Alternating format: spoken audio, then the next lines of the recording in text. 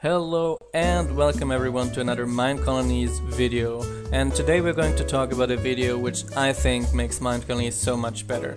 So as you might remember we had a lot of interactions with the citizens which were done via the chat. So citizens would tell you they don't have a job, they don't have a home, they're hungry, they can't find a restaurant and they need a tool and so much more things via the chat. So that was impractical for a number of reasons. For once you would probably a few seconds later forget again who needed what. Second, you would have to find the citizen with the name who was needing something. And third, it was pretty spammy. So we thought about something and we've been working the last few weeks on realizing this. So as you might see and also render through here, there are a few symbols here in the colony which render. So you can see here, there's like a name and a yellow symbol and here a bit far away there's a red symbol and those symbols indicate that these citizens need something. So a yellow symbol usually means something, it's not a serious issue. So for example Emily here, if I right click her she's going to tell me that it would make her job much easier if she had leggings, boots, helmet and a chest plate and after going through the menu you can access the normal GUI again. Now our worker over here, he actually has a more pressing issue and if we right click him again he's going to tell us he needs an axe to continue working. So I can click I will work on it, I can please remind me later to disable the icon and just re-enable it in a few minutes or I can say more details please, it's going to bring me to the tool page, I can fulfill it as you can see, a second later it disappears. And this is done for basically all the citizens.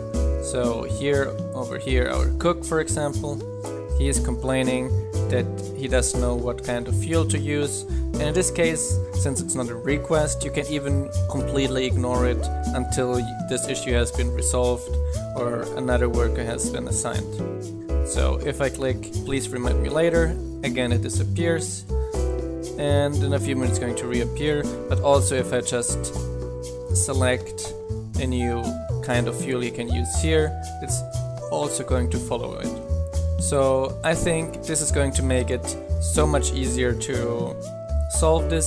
Now, a few of the things we still have in the chat. For example the notification that the worker just grew up that you have a new child living in your colony that the builder finished or started something.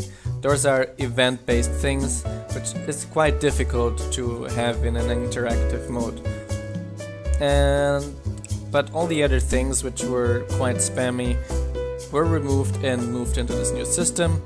And we are also planning on integrating some kind of status in these systems, which are going to tell you when you right click a random citizen, even if he doesn't have any request or anything blocking him, that he's going to chatter a bit about what he is currently up to.